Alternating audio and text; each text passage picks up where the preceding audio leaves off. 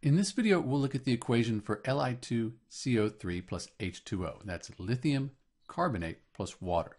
So lithium is a metal, and then we have CO3. This is a group of nonmetals. It's called a polyatomic ion. It's the carbonate ion.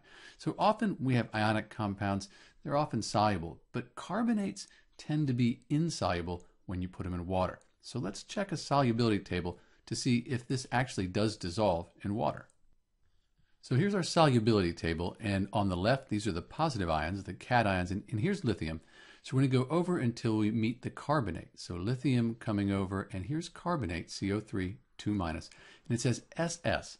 That means it's slightly soluble. Some of it will dissolve, but much will remain a solid if you have a lithium carbonate in water. So we can write the equation for the lithium carbonate that dissolves, but just note that most of it won't dissolve. All right, back to the equation. So we have solid lithium carbonate and we put it in liquid water and some of it dissolves.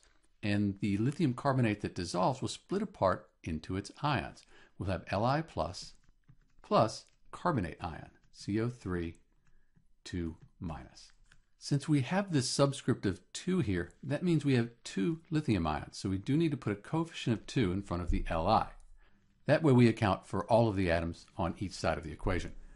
Next, because it's dissolved in water, or at least part of it's dissolved in water, that part that's dissolved in water, we're going to write a little AQ, which stands for aqueous. Aqueous means dissolved in water.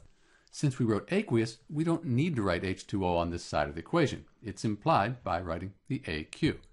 And that makes this the equation for the Li2CO3 that dissolved in water.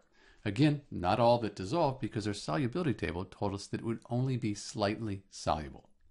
This is Dr. B, and thanks for watching.